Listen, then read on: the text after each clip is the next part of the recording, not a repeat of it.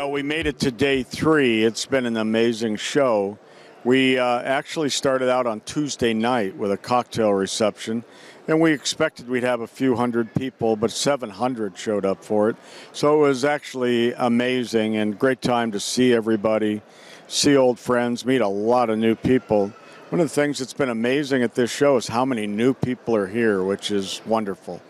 Uh, the show's been great, though. We ran five tracks of education uh, during the day and everything from cleaning and restoration management and marketing, some general subjects related to uh, things around social media, and then also NORMI and ASCR, ARCS, I got it right, ARCS, and also the Good Life also did major presentations, which was great. So the classes were full. There were a lot of really nice people here. I think everybody was just excited to be together again. Safety was a paramount concern. So we're asking everybody to wear masks. Not everybody did, but we asked them constantly, and we did the best job we could with that. Uh, we were cleaning surfaces continuously.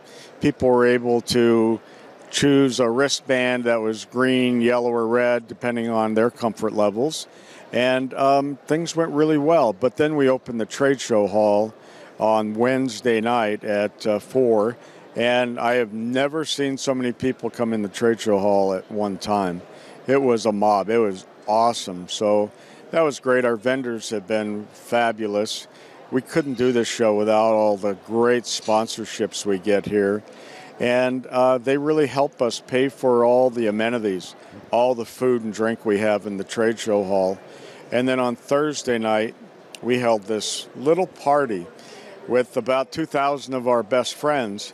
And we had a full dinner, but then we had Rock the Vault legends come in. These guys are lead singers from 70s and 80s bands, and it was something else. I'm pretty tired from last night. I just, we were partying, we had fun.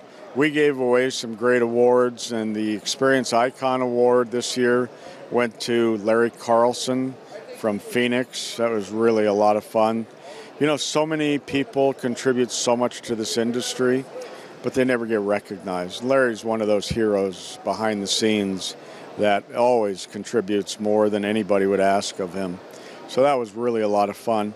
And then we hit day three, and right in stride, we just kind of moved through the day here, and we're in the last hours of the trade show hall now, and uh, we're still registering people coming in, which is wonderful, uh, but it'll be over pretty darn quick. It's so amazing. It takes us a year to plan the show. Uh, 239 booths inside, 18 pavilions, and this is our last year at the Paris Hotel. Uh, we'll be moving over to the Caesars Forum next year. State of the art, brand new, beautiful facility, and uh, we'll expand the show just a little bit more, but we'll have a whole outside exhibit area again. We couldn't do it here at the Paris, and uh, that's why we're really moving. This is a beautiful hotel. Everything's been wonderful here. But, you know, ultimately, we've never had so much hands on education at a show. When you walk through this area, it's nonstop hands on demonstrations, and something we reintroduced were campfires.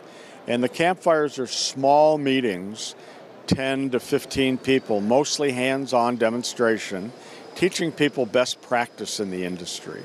So it's been awesome. We're so excited to have a show again and see everybody. And, you know, our ultimate goal for the show is to raise the bar in the industry as high as we possibly can. We want to bring in science, we want to bring in the best practices. But what we found also was classroom education is wonderful, no question.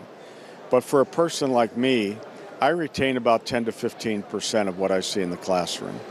When I then move to the from the classroom to a hands-on demonstration, my retention level jumps to about 80 percent. So I can go home immediately and start applying some of the practices. And we always tell people when you come to the show, take back three or four things. Don't try to take back 30 things. You can't implement it. And so it's been a lot of fun. I've seen some old friends here I haven't seen in years, and I've made a lot of new friends also, and we're just very blessed to be in the position we are right now.